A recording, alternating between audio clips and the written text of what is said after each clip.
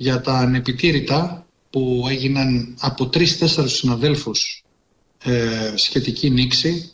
Δηλαδή σκεφτείτε συνάδελφοι να είχαμε τις αποδόσεις που είχαν οι προηγούμενες δημοτικές αρχές.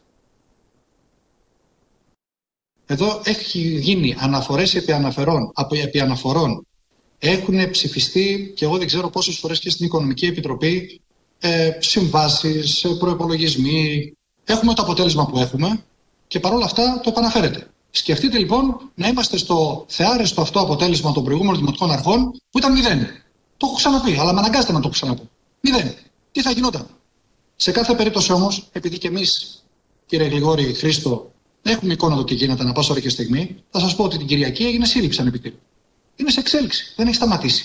Και ο αρμόδιος ο δήμαρχος, ο κ. Ζωρδάκη, δεν είπε ποτέ ότι ολοκληρώθηκε και ότι εξαφανιστήκαν διαμαγείας ή τέλος πάντων τα συλλάβαμε όλα.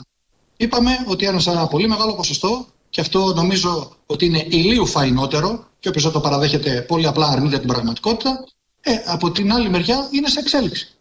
Το συνεργείο υπάρχει, η σήμα συνεργή υπάρχει, η σήμα στο στάβλο είναι ενεργή, ε, τι άλλο δηλαδή. Και σας λέω την Κυριακή έγινε σύλληψη ανεπιτήρου. Και το έχω και στα κινητό μου, φωτογραφία που μου στείλαν.